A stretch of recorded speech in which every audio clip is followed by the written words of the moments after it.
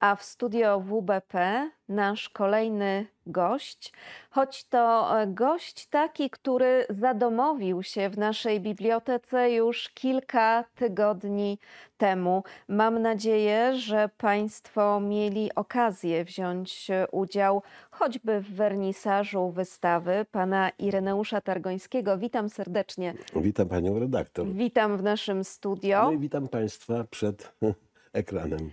E, ja wyrażam nadzieję, że Państwo e, wzięli udział, bo powiem szczerze, że e, ten wernisaż był tak licznie zaszczycony Państwa obecnością, że trudno nam czasem było w tym tłumie wyłowić kolejne twarze. Natomiast z dobrą wiadomością spieszymy do Państwa, że no to wiadomość e, dobra i niedobra, taka bardzo mobilizująca, bo wystawa jest e, przedłużona. Ona cieszy się naprawdę ogromnym powodzeniem, więc postanowiliśmy po prostu dłużej dać Państwu możliwość e, obcowania z linorytami i tymi niezwykłymi rysunkami, które pan Ireneusz zdecydował się wyeksponować i pokazać Państwu.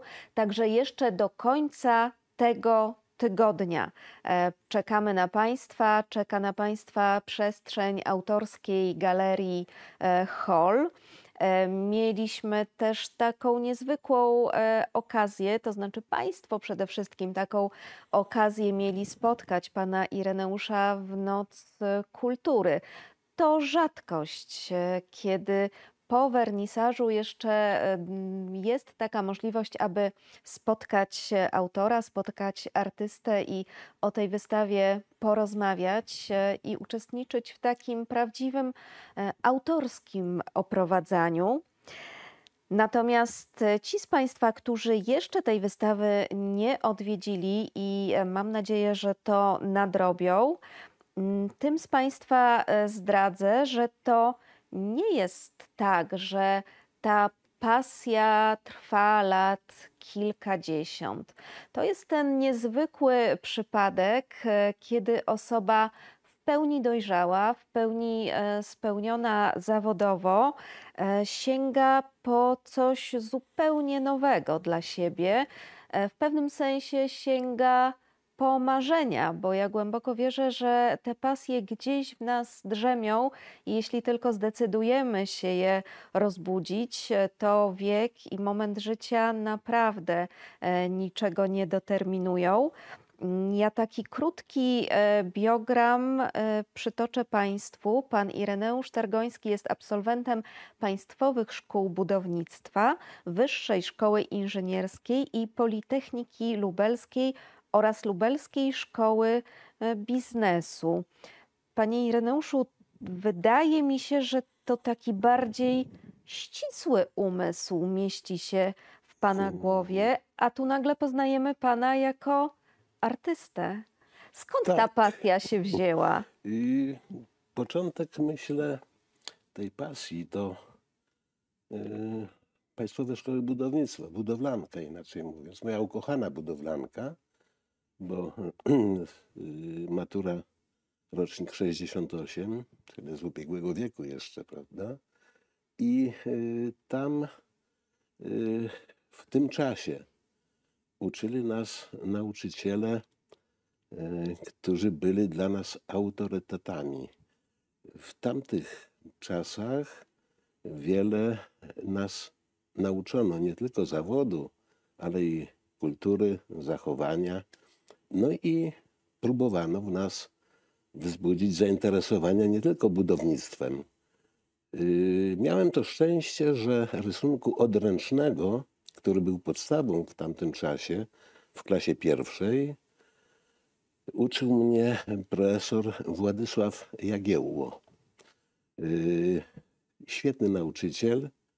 Yy, mieliśmy tych zajęć dwie godziny tygodniowo. I y, on nam przekazał te początki y, i zaraził pasją. A potem to się przydawało w następnych latach w budowlance, w technikum, no bo potem były rysunki techniczne, opisy piórkiem właśnie, który technicznym, które obsadzone w drewnianej obsadce tak zwanej służyło do opisywania właśnie y, opisów technicznych, tudzież wy- wymiarowania e, rysunków. A y, ta umiejętność ćwiczona przez kilka lat nauki pozwoliła potem to wykorzystać już na emeryturze, kiedy było więcej czasu, kiedy można było odświeżyć te utajone, przykryte brakiem czasu umiejętności. No i stąd y, zaczęły się rysowanie, zaczęło się rysowanie piórkiem. Y, Przypomniał mi o takiej możliwości y, znany lubelski grafik świętej pamięci już Józef Tarłowski, który był matematykiem, bo to też nie był jego zawód. Uczył w zespole szkół gospodarczych, usług gospodarczych na Narutowicza. Uczył matematyki. Pracował tam razem z moją żoną matematyczką, Haliną. I czasami dochodziło do takich spotkań przy okazji i stąd moje pytania do niego, jego zainteresowanie tym moim rysowaniem. No mówi, masz pewną rękę, masz podstawy, próbuj. No i tak się też e, zaczęło, ale już na emeryturze, bo em, to życie zawodowe wymagało jednak wielu poświęceń. Y, Brakowało czasu czasami na sen, więc nie było mowy o tym, by te swoje pasje e, rozwijać, czy w ogóle myśleć o nich. Stąd na emeryturze dopiero zacząłem te swoje pasje przywoływać do życia. Przychodzi mi na myśl taki francuski e, artysta, fotograf, który zajmował się e, fotomontażem, e, Gilbert Garçon. Jeśli Państwu to nazwisko nic nie mówi, to proszę się nie niepokoić. Bardzo znany we Francji, natomiast trzeba siedzieć w temacie, żeby e, znać to nazwisko. E, Gilbert Garçon e, przez całe swoje życie piastował kierownicze stanowiska, jeśli się nie mylę, w fabrykach. Generalnie był też ścisłym umysłem. I kiedy poszedł na emeryturę, to nagle wybuchła w nim ta pasja e, do fotomontażu, do kolażu, i rzeczywiście dziś te prace są bardzo znane. E, I w wywiadach, a udzielał ich naprawdę wielu, e, podkreślał, że mm, ta pasja nie wzięła się znikąd, że tak naprawdę przez całe swoje życie gromadził w sobie inspiracje, emocje, ekspresje i kiedy uznał, że jest gotowy, że nagromadził już odpowiedni zapas, z którego mógłby czerpać, a do tego, tak jak wspomina pan Ireneusz, życie zawodowe e, stanęło gdzieś na boku, a na pierwszym miejscu e, znalazł się nareszcie czas wolny, to można było te pasje zacząć realizować zresztą e, z wielkim powodzeniem.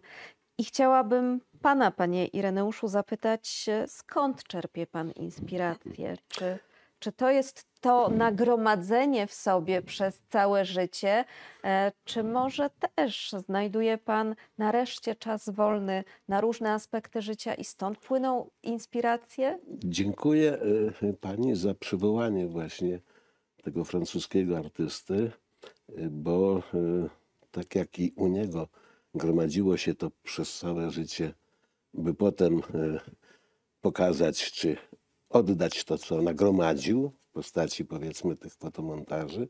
e, Myślę, że podobnie i u mnie.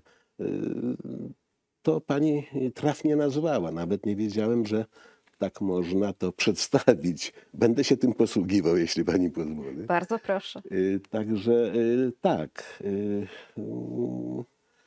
Jestem poza tym, y, tak jak mówią znajomi czy przyjaciele, y, wrażliwym człowiekiem na piękno przyrody. A y, w miejscowości, czy z miejscowości, w której pochodzę, y, pochodzę z miejscowości Michów, Y, To jest gmina, urocze y, miasteczko. Kiedyś, potem prawa miejskie utraciło. Y, Tam y, niedaleko, na terenie gminy, przepływa rzeka Wieprz. Jest tam piękna dolina, pradolina y, Wieprza. On płynie leniwie, bo y, taką szeroką strugą, czasami wylewa, prawie co roku. I są takie miejsca w okolicach Jeziorzan czy Ostrowa, em, gdzie jak okiem sięgnąć, obracając się, nie znajdzie się śladów cywilizacji, ani słupa energetycznego, ani jakiegoś komina. Więc y, są jeszcze takie miejsca, gdzie ta przyroda y, jest w stanie pierwotnym, można by powiedzieć. I lubię tam często zaglądać. W każdą wolną chwilę wykorzystuję, żeby coraz to nowe miejsca odkrywać, a jest ten odcinek wieprza przepiękny y, w okolicach miejscowości Ułęż, y, w stronę szosy warszawskiej, czyli na y, zachód wraz z biegiem wieprza. Także te miejsca mnie inspirują, przyroda. I stąd y, w tych moich rysunkach piórkiem y, ona najwięcej zajmuje miejsca. Mm, Są takie charakterystyczne, zresztą na tej wystawie pokazane rysunki, y, które z przyjemnością po raz kolejny sam oglądam, bo widać na nich to piękno przyrody. A jeśli mi się udało to przy pomocy piórka pokazać, tym większa satysfakcja. Y, Tyle może o y, rysunkach piórkiem. Y, Moim przyjacielem jest Zbyszek y, Jóźwik, y, znany y, lubelski i nie tylko grafik. Brał udział w wielu wystawach krajowych, zagranicznych także. On mnie e, namówił w zasadzie do linorytu.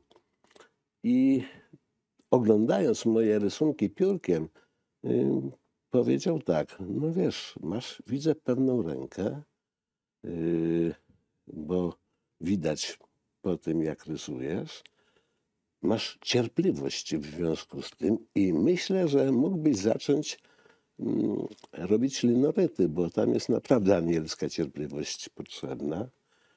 No i tak y, y, zainspirował mnie do tego, by zacząć y, robić linoryty.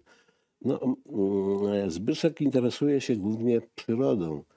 Jest biologiem, roślinami, prawda? I te swoje linoryty w piękny sposób, zresztą jestem zachwycony. Mam wiele prac jego, a, a także kilka albumów, które zostały ostatnio wydane. I jestem zachwycony jego twórczością, jego sposobem przedstawiania tej rzeczywistości. A ja z kolei, mm, ponieważ interesuje mnie i przyroda, i architektura, no to głównie zająłem się em, pokazywaniem właśnie takich ciekawostek architektonicznych na linorycie, no i, i przyrody także. Y, Linoryt jest e, dużym uproszczeniem rzeczywistości i cały widz polega na tym, by uchwycić to, co jest najpiękniejsze, żeby y, nie być fotografem, bo no by dzisiaj w każdym aparacie powiedzmy y, y, jest możliwość zrobienia pięknych zdjęć kolorowych. Mówię tu o telefonach komórkowych. Więc konkurencja ze strony takiego rzemieślnika jak ja, no żadna, prawda? Więc cała rzecz polega na tym, żeby uchwycić to, co najpiękniejsze i w sposób uproszczony przekazać. No, y, jednym z takich moich najbardziej, powiedziałbym, lubianych y, są trzciny nadwieprzańskie. Nawet przedstawił je y, pięknie pan Jacek y, od państwa Plastyk, za, za co mu bardzo dziękuję, bo on zaaranżował to wystawę i y, stał się y, jak gdyby współtwórcą tego mojego sukcesu, jak pani mówi, bo pięknie to zaaranżował i te plakaty, powiedzmy, są wspaniałe. Ja bym tego nie zrobił. Mowa o Jacku Wałdowskim. Y, O Jacku Wałdowskim, tak, oczywiście. Za to mu bardzo, bardzo dziękuję jeszcze raz. Y, Także y, na tym właśnie plakacie jest, y, są trzciny te nadwieprzańskie. To jest y, maksimum uproszczenia i tak jak mi mówią znajomi, że jest to jedna z piękniejszych moich prac linorytniczych. Y, Podobnie jest, y, bo czasami wracam y, do rysunków piórkiem i na folderze pokazującym dzisiejszą wystawę jest właśnie rysunek kaplicy z kościoła dominikanów, tej widzianej od dołu. Y, I tam też udało mi się, też tak twierdzą niektórzy, w sposób bardzo uproszczony, niefotograficzny, pokazać piękno tej kaplicy, jej otoczenia. Y, Także y, powoli, jak widać, się rozwijam. W prostocie siła to bardzo Y, często się podkreśla. Tak, y, no y, muszę też powiedzieć, że nie uważam się za artystę, bo y, jest o wielu, wielu bardziej ode mnie znaczących, jeśli chodzi o sztukę, o, o sposób przekazywania, o rysowanie czy o linoryt. Y, Ja traktuję to jako przyjemność, jako powiedziałbym pokaz tego, co we mnie tkwi. Bo to też jest ważne, żeby starać się y, uwidocznić, prawda, w, w taki sposób, jak, y, jak się potrafi. No ja akurat wybrałem ten sposób przekazywania swoich uczuć, swoich odczuć, y, tej swojej tej pasji. I y, myślę, że y, dalej będę to kontynuował, skoro tak jak y, y, pani mówi, czy tak jak moi znajomi powiadają, że te moje rysunki się, czy moje linoryty zaczynają podobać. I muszę powiedzieć, że nie ma większej satysfakcji dla twórcy, jeśli to, co robi, podoba się. Nawet nie szerokiemu gronu, ale tym, co to oglądają. A dzięki wystawom, których y, miałem już dziewięć, łącznie z tą dzisiejszą, y, to y, zainteresowanie jest. I muszę jeszcze jedno powiedzieć, że bardzo mi zależy na tym, żeby pokazywać te swoje prace w środowiskach gminnych, czyli w tych mniejszych miejscowościach, gdzie e, kontakt ze sztuką jest rzadki, bo najczęściej no, ci prawdziwi artyści no to wolą wystawiać w dużych ośrodkach, powiedzmy w Lublinie, e, w różnych galeriach, czy u państwa. e, No, a już w Nałęczowie to jest, prawda, zaszczyt, tak uważają niektórzy. Natomiast do tych śro- środowisk mniejszych, wiejskich, do małych miasteczek rzadziej zaglądają. A muszę powiedzieć, że dzięki funduszom unijnym y, w ostatnich latach te ośrodki bardzo zyskały. W Jezierzanach jest piękny dom kultury y, z, z sceną, ze sceną, y, z możliwością wystawiania. Podobnie w Ułężu, gdzie byłem nawet w ubiegłą niedzielę. Też jest piękny dom kultury, nawet dwupiętrowy, nawet z windą z zewnątrz można wjechać, będąc powiedzmy osobą starszą czy, czy y, inwalidą, jest możliwość dostania się i oglądania. I stąd y, i to zaciekawienie, i moja też chęć, ponieważ też pochodzę ze środowiska wiejskiego, y, pokazania ludziom otwa- otwarcia oczu na piękno otoczenia, bo niejednokrotnie mieszkając na co dzień nie widzą tego piękna. Dopiero można je pokazać w rysunku, w linorycie przypomnieć, że to jest na co dzień, prawda? Trzeba tylko umieć wskazać, niekiedy palcem, że to, gdzie mieszkamy, to nasze otoczenie jest też piękne. Rysunki e, wykonywane piórkiem i linoryty mogą Państwo jeszcze przez kilka dni do końca e, tego tygodnia oglądać w autorskiej e, galerii Hall. A ja chciałabym jeszcze podpytać o rzeźby i instalacje przestrzenne, bo znalazłam taką informację, że to jest pasja dzielona z synem. Y, Tak, i mm, ja na jednej z wystaw y, pokazałem te instalacje przestrzenne. Y, One też podpatrują przyrodę. Mm, Można y, czasami piękne formy znaleźć w drzewach, w ich ukształtowaniu. Czasami y, przyroda takie prowadzi, że są różne formy, różne wygięcia, różne kształty, z których można wiele wyczytać.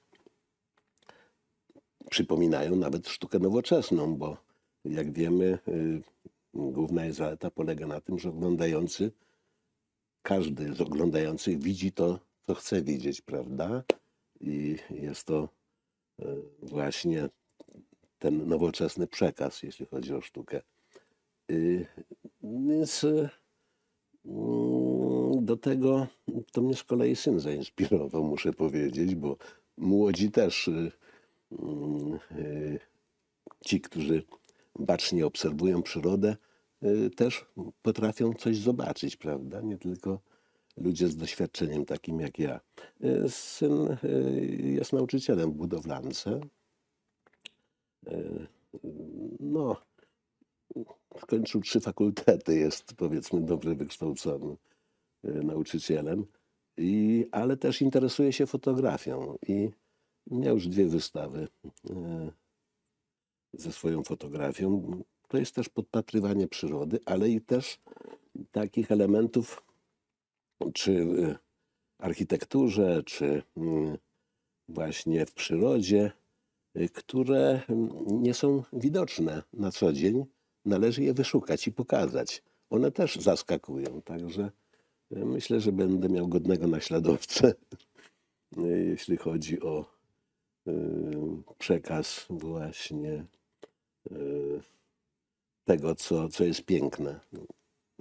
No, głównie w przyrodzie. Zastanawiam się, e, czy są jeszcze takie pasje, być może na razie w sferze marzeń, które czekają na realizację. Czy czegoś jeszcze chciałby Pan spróbować? Mm. E, Jest też taka informacja w Pana biogramie, że jest Pan zapalonym żeglarzem i motocyklistą, więc Y, to pozornie czasu więcej, ale chyba te Y- pasje jednak są czasochłonne. Tak, ale dziękuję za to pytanie, bo y, nie tak dawno właśnie odkryłem tą swoją kolejną pasję. I to nie jest związane ani z łódką, ani z, ani z motocyklem. Y, Ta pasja to y, też ujawniła się w budowlance wcześniej. Y, W naszej szkole było studio, y, czyli szkoła była zradiofonizowana, to jeszcze były urządzenia po, po wojsku, czyli po, powiedziałbym, po armii y, z lat 40. y, jako darowizna dla szkoły najprawdopodobniej. I to studio było, w każdej klasie można było powiedzmy y, ze studia y, zrobić jakąś audycję, czy wysłuchać jakiejś pogadanki. No i jedna z moich profesorek, polonistek, namówiła mnie do, a może byś spróbował jakiś wiersz napisać. No i trafiła się taka okazja, że mm, napisałem wiersz na Dzień Kobiet, y, no, który wygłosiłem przed ten szkolny radiowęzeł. Y, Podobało to się ponoć. Y, Drugi wiersz napisałem z okazji święta 1 maja. To była taka szkolna uroczystość w nieistniejącym już kinie Kosmos. Także uczestniczyła w tym cała młodzież szkolna wraz z gronem pedagogicznym. I tam właśnie ten wiersz też udało mi się e, ze sceny powiedzieć. Oczywiście e, było to duże wyzwanie, bo e, w pewnym momencie zapomniałem języka, jak to się mówi popularnie w gębie, tak? No ale zostało mi to darowane, bo sama treść była interesująca. I proszę sobie wyobrazić, że moja mama przechowała, świętej pamięci już mama Irena, zachowała to w rodzinnych pamiątkach. Ten wiersz przepisany na maszynie jeszcze, nawet z takimi błędami, powiedzmy, stylistycznymi, ale jednak. I te dwa wiersze y, mam do dzisiaj. Pielęgnuję je wręcz. Porobiłem ksera z tego, żeby, jeśli by coś się stało, żeby ślad jakiś pozostał. I yy, jak to odkryłem, ten fakt, a to było późną jesienią ubiegłego roku, czyli nie tak dawno, wróciłem do pisania. I yy, taką okazją stały się właśnie yy, moje wystawy rysunków. I jeden z pierwszych wierszy to był właśnie związany z wystawą w Jeziorzanach i napisałem ten wiersz już po wystawie, gdzie nawiązałem właśnie też do tej przyrody, która otacza tę miejscowość, okolice Wieprza właśnie. Drugi wiersz powstał e, też pod koniec tamtego roku na wystawie w mojej rodzinnej miejscowości. Było to właśnie 75-lecie biblioteki, powstania biblioteki w Michowie, na której y, nawet y, byli od Państwa przedstawiciele. Y, był dyrektor Sławecki ówczesny, była pani Tergońska. Pokrewieństwa ponoć nie ma, bo rozmawialiśmy na ten temat. I tam właśnie też spróbowałem przedstawić no, ten upływający czas, prawda? Potem drugim takim momentem wzruszającym i takim, który pozwolił mi do tego wrócić, pisania, był pogrzeb świętej pamięci biskupa Ryszarda Karpińskiego, którego znałem od dosyć dawna, bo jeszcze jako aspirant służyłem mu do mszy w Michowie, bo to parafianin, po jego święceniach kapłańskich.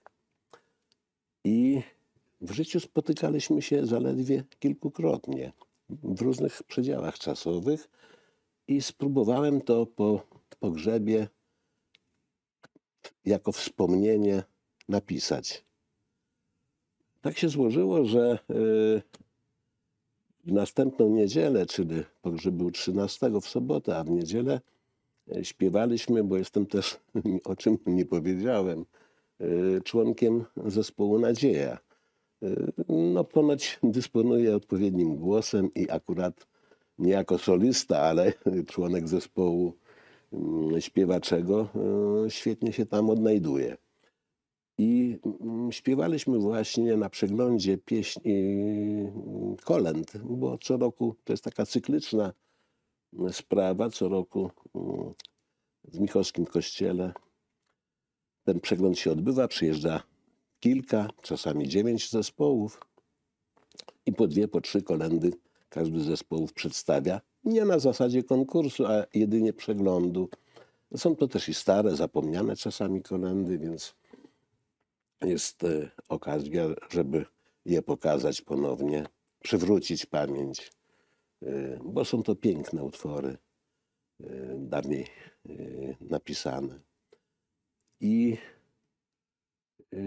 przy tej okazji no, pokazałem księdzu kanonikowi, proboszczowi Michowskiej parafii e, ten wiersz, y, powiedział, że mogę go na sumie przekazać, powiedzieć.